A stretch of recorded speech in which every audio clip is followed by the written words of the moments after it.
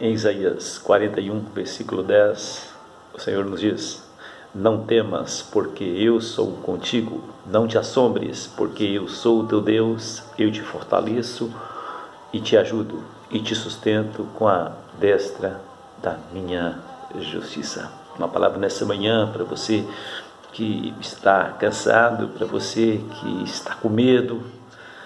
Tem esta palavra profética do Senhor na sua vida. Não temas, não fique com medo, porque Deus é contigo. Não fique assombrado, porque o Senhor é o seu Deus. Primeiro, Ele vai te fortalecer, Ele vai te dar força para você passar por esse vendaval, para passar por essa crise, por essa decepção, por esse momento de desastre, de perda na sua vida.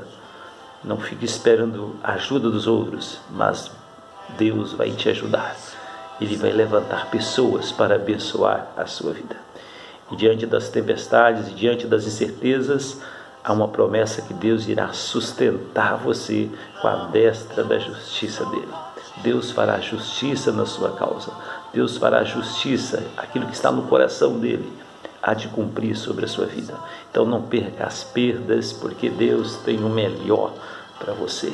Não fique com medo para isso acontecer na sua vida, é necessário que você renda aos pés da cruz, que você entregue sua vida ao Senhor, que você confie no Senhor e você lance toda a sua ansiedade sobre Ele. E aí sim você vai ver os cuidados que Deus tem para a sua vida. Que Deus abençoe e tenha um excelente dia na presença do Senhor.